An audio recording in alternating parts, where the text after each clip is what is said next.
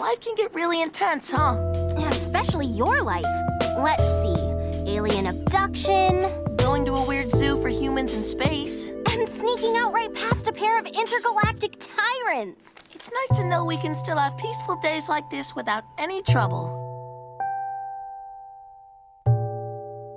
Good night, Steven. Good night, Sadie.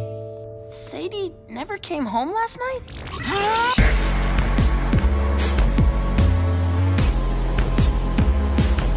Steven, do you know what you're doing?